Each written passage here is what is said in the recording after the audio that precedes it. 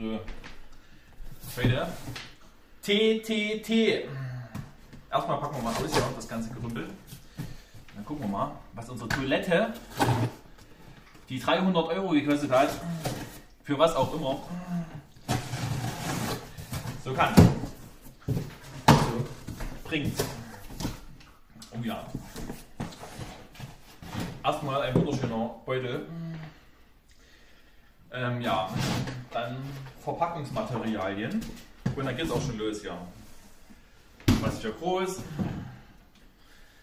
was für klein, was für, hast du nicht gesehen.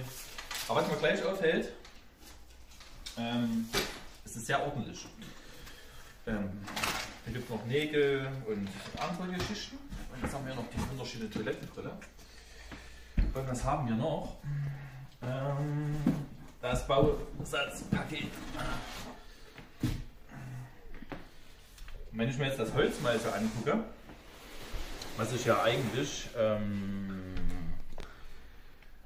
dann ist das Multiplex und dann verstehe ich auch, warum manche Sachen halt ein bisschen teurer sind. Es ist zwar alles nur äh, mit der Fräse gemacht, denke ich mal, so wie die Schnittkanten aussehen, aber es ist Multiplex und dadurch denke ich, ist es sehr robust. Also denke ich mal, wenn ich jetzt äh, das auf einen Quadratmeter hochrechne, bin ich bestimmt bei ungefähr 100 Euro nur das Holz. Da machen manchmal die 300 Euro dann schon wieder ein bisschen Sinn. Aber wir werden sehen. Wir werden das dann mal zusammenbasteln hier und dann werden wir mal schauen, was am Ende dabei rauskommt. Ne? So, wir haben jetzt schon mal angefangen mit Aufbauen. Hier sind ein paar Teile.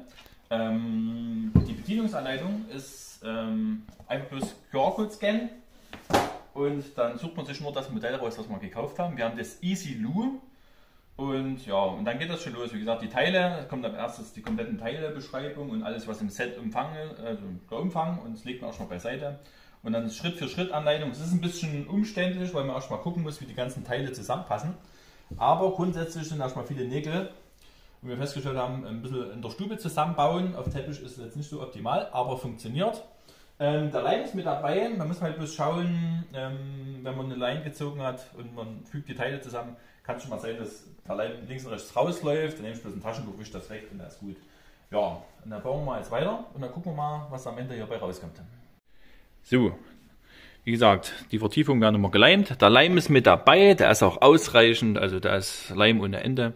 Wir hämmern hier wie die kaputten, also wir arbeiten, ich denke mal, so seit 35 Minuten, sind fast dem Ende entgegen. Und wir machen schon ein bisschen Krach hier, aber der Hund schläft trotzdem. Ähm, Vorteil ist, also es gibt ähm, solche, solche ähm, Einbauhilfen, die sind mit dabei, ist eigentlich ganz praktisch, aber ich bin eher, ich tendiere eher dazu, dass man das vielleicht zu zweit macht. Ja, wie gesagt, Nägel sind ein Haufen dabei und man hat halt immer die Seite und dann immer den Gegenspieler. Die Seite und dann immer den Gegenspieler. Also das ist schön, das hat schon Hand und Fuß. Ist ein bisschen, manchmal ein bisschen undurchsichtig von der Bauanleitung her, aber grundsätzlich ist das ähm, einfach zu gestalten, das ganze Projekt hier. Ja, so viel erstmal dazu. So, jetzt sind wir langsam, gehen wir langsam dem Ende nahe zu, wie auch immer. Ähm, jetzt schrauben wir quasi nur noch hinten das an. Das Einzige, was, was wir gerade äh, festgestellt haben, ähm, es ist naturbelassenes Holz, ist vielleicht vom Vorteil, wenn man es lackiert noch oder so. Also witterungsbeständig ist das jetzt auf Dauer, denke ich mal, nichts. Ähm, ja, es ist halt noch naturbelastet von innen, von außen. Sollte man sich schon überlegen, ob man es ölt oder lackiert, streicht, wie auch immer. Ähm, ja, das haben sie uns wahrscheinlich hier außen vor gelassen. Ich muss feststellen, das Ding kostet 300 Euro.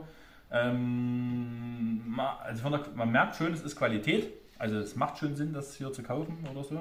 Aber 300 Euro sind trotzdem erstmal 300 Euro. Aber ich finde es, also die Qualität ist schon da. Also es macht schon, es wirkt sehr hochwertig. Und ähm, das Einzige, was wir jetzt nachsetzen mussten, wir mussten zwei Löcher bohren.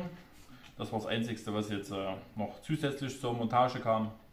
Aber grundsätzlich ist eigentlich alles dabei, wie Werkzeug und Schrauben ist alles dabei. Die Anleitung ist relativ gut, könnte ein bisschen ausführlicher sein, aber ist trotzdem gut.